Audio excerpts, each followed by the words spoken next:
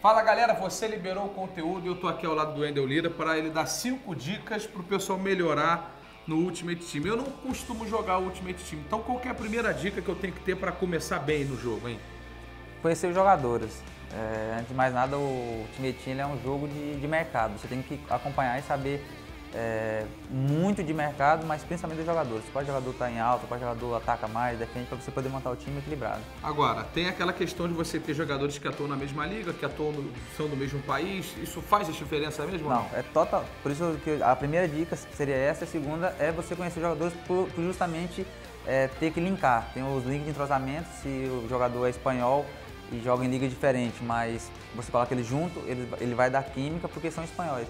Mas se você colocar liga diferente, nacionalidades diferentes, é, o jogador fica sem entrosamento e na hora do, do jogo Isso ele, não, ele não, consegue, não consegue jogar, ele não toca aquela bola certa, ele erra, aquele chute fácil, ele, é, ele erra. Mesmo se eu tiver um time cheio de jogadores craques, se não combinarem, não adianta não nada. Não adianta, tem que ter o entrosamento. Agora, você estava falando em off aqui que o que você faz mesmo, que o que faz a diferença é olhar uma estatística do jogador. Qual que é essa estatística? É o work rate, né? Que é a diferença do jogador, a disposição que ele tem para atacar e a disposição que ele tem para defender.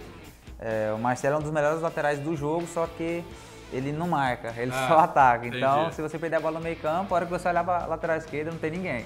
Já o Alaba, não. O Alaba, se você colocar ele lá, ele ataca. Ainda tem o Aí, fora, ainda tem o chute fora da área. E quando você perde a bola, que você olha, tá ele correndo para trás, marcando. Então, ajuda. E, e você estava falando também, né, Wendel, da, do work rate, que é importante. E tem uma coisa que pouca gente mexe que é Natal da tática personalizada, né? É, na verdade o FIFA 17 ele revolucionou a, a franquia FIFA. Porque antigamente o pessoal jogava, gostava, era hobby, agora não. O pessoal tá levando a agora é sério é mesmo. Né? É, se você perguntar para um menino de 12, 13 anos, você joga FIFA? Jogo. Qual tática? 4-3-3.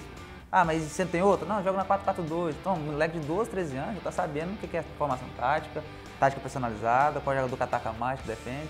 Então, hoje no FIFA 17 isso modificou muito e todo mundo tem que saber sobre tática personalizada, que é o que indica como seu time vai atacar, se vai pressionar na frente, se vai marcar atrás, a distância dos zagueiros com laterais, faz muita Tudo diferença. isso você mexe ali na hora. Faço tudo na hora. E Wendel, pra gente fechar aqui, conta pra galera, qual que é aquela maneira que você faz gol certo, o teu gol garantido. Gol do Wendel Lira, ensina é, pra galera. Até o pessoal que não conhece meu canal, dá um pulinho lá, acompanha o WLPSKS, que cada um tem uma marca diferente. Tem alguns que bate falta muito bem, tem outros que tem um escanteio que é impossível de marcar.